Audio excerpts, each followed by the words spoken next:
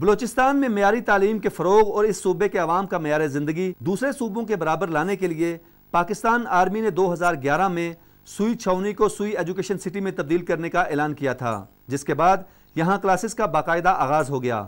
ستائیس اپریل کو military college سوئی میں دوسرے بیچ کے تعلیمی سیشن کا بھی آغاز ہو گیا ہے۔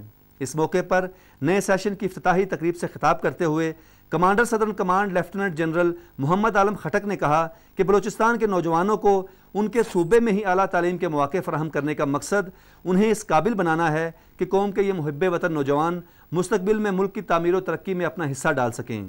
پاکستان آرمی اپنے وسائل سے Quetta institute of medical sciences, Balochistan institute of technical education کا قیام عمل میں لایا جا چکا ہے۔ تاکہ یہاں کے لوگوں کو بہترین پروفیشنل ایجوکیشن کے مواقع میسر کرائے جا سکے۔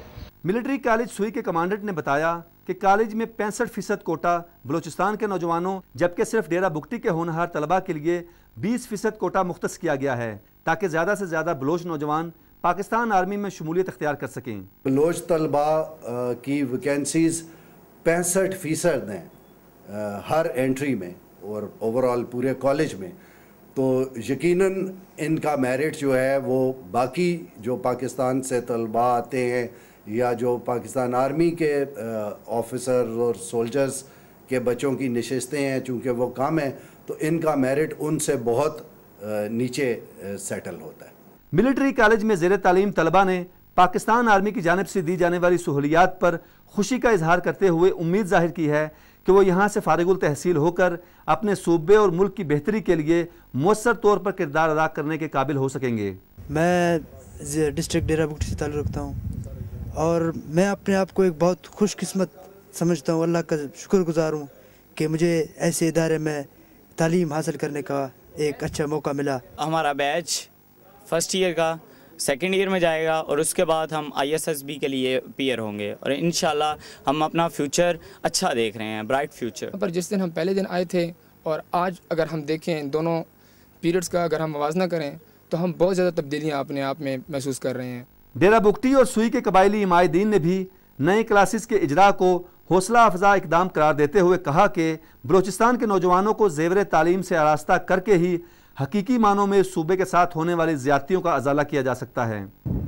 اس سے پہلے جو لوگ بلوچستان کی محرومی کی بات کر رہے ہیں، وہ اپنی جگہ پہ۔ مگر اب ایک بات کو لے کے رونے سے تو بہتر یہی ہے کہ ہم جو چیز مثبت ہے، اس کی طرف دیکھیں۔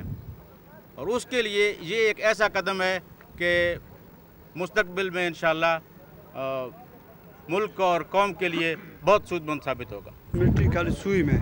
زیادہ تعداد تو ادھر اکثر ڈیرہ بکٹی اور سوئی، باقی بلوچستان کی عوام کا ہے اس میں کچھ سے میرے خیال میں آئے ہوئے ہیں باہر سے آئے ہوئے ہیں، باقی سارے بلوچستان کے ہیں اور ڈیرہ بکٹی اور سوئی کے ہیں اور ادھر بچوں کو بہت بہتر تعلیم دیا جا رہا ہے اور لوگوں کو شعور دیا جا رہا ہے۔ اس سے تو ہمارے ڈیرہ بکٹی اور سوئی، اس کے ساتھ ساتھ پورے بلوچستان، جو نا بلوچستان کے حالات ٹھیک ہوں گے، کہ ہمارے بچے پڑھ رہے ہیں۔ ہمارے بکٹیوں کے اسی لڑکے اس وقت زیر تعلیم ہے، صرف بکٹی ہوں، ڈیرہ ڈیرہ بکٹی ڈسٹرکٹ سے۔ اور ایسے ہیں، میرے اپنے گاؤں کے بھی لڑکے ہیں۔ آج صبح مجھے ملے، میں نے ان کو پہچانا نہیں ہے کہ یعنی اتنا ان کی کیڈٹ، ان کی جو تربیت ہوا یا جس طریقے سے ان کی بات چیت ہو رہی تھی، وہ چیز ہو رہی تھی، اس سے دیکھ کے بندہ خوش ہوتا ہے۔ نئے تعلیمی سیشن میں تین سو پچیس طلباء کا بیچ چار سال تک ملٹری کالج سوئی میں زیر تعلیم رہے گا، جبکہ ان کی تربیت پر تیس اعلیٰ تعلیم یافتہ فیکلٹی ممبرز بھی تعینات کیے گئے۔